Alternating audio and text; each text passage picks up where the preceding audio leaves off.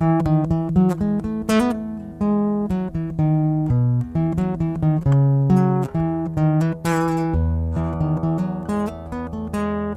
the morning, my friends, how are you today? Welcome back to our Cozy Hometown podcast from Bemidji, Minnesota. We have recorded this short study of God's Word just for you in this convenient take along package. And remember, our Bible studies are and have always been GMO free. Our devotionals are designed to give you something to think about as you step out the door into the world, in about as much time as it takes to get ready to walk out that same door. This week, we delve into an interesting topic God and mammon as described in Matthew chapter 6. It's not exactly an everyday term. When I was knee high, I always thought mammon was a monster from my superhero cartoons. And I guess, in a way, it can be. Mammon, according to the Free Dictionary, is worldly gain personified as a false god in the New Testament. In today's terms, it's pretty much money and all that it can buy in this life.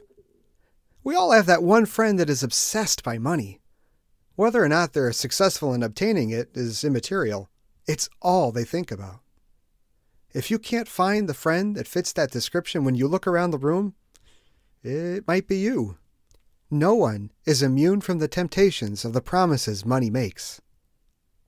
If you like this content, share it with a friend if you look in the podcast description on the app that you're using right now, in every episode, there is a share link for you to email or text to a friend. I've tried to make the link super obvious. Please let me know if it isn't at john.kirk at stmarksbemidji.org. Share it because it's studying the Word of God, and faith in Jesus and His perfect life, death, and resurrection comes by hearing the Word and salvation from death and an eternity in hell comes to us by that faith. Why would you not tell everyone?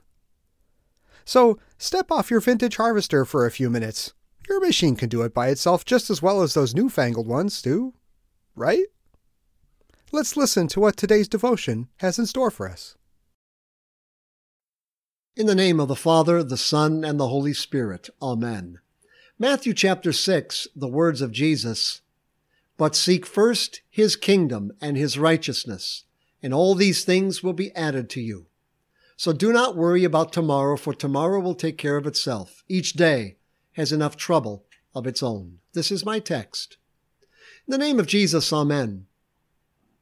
How much people strain, strive, and work to get a respite. A few days of peace and quiet away from the pressures of a workaday life they live. How much effort Going even several extra miles does it take for people to finally get ahead so they can take it easy before they're forced to get back at it so they don't lose any ground? How many sleepless nights, taking sleep aids, drinking too much, must there be under the pressures of daily work and living? How long does the fear of competition from others drive one to the brink? Families suffer, Marriages suffer, co workers suffer, and the individuals caught up in it all suffer. So, what is so tough about believing the Word of God and trusting the Jesus many say they trust in? Could it be that the trust is often lacking? Perhaps why Jesus said, Seek first God's kingdom and his righteousness, and all these other things will be added to you? Seek. Continue to search out and locate, to find. Where is the kingdom of God and his righteousness to be diligently sought? In his word, preached by pastors and confessed by Christians everywhere. In his absolution, pronounced in the mouth of his pastors and by the forgiveness of Christians. In baptism, where daily the sin and evil lust within is drowned in contrition and repentance, and the new being in Christ arises to live in righteousness and purity before God and man and in the Holy Supper of our Lord's own body and blood for the remission of sins and the strengthening of faith to fear, love, and trust God above all things and love one's neighbor as himself. The kingdom of God is not eating and drinking, but righteousness and peace and joy in the Holy Spirit. How blessed are the people who know the joyful sound, O Lord, they walk in the light of your countenance. For you, O Lord, have made me glad by what you have done.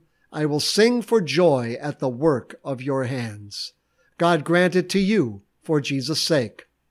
Amen.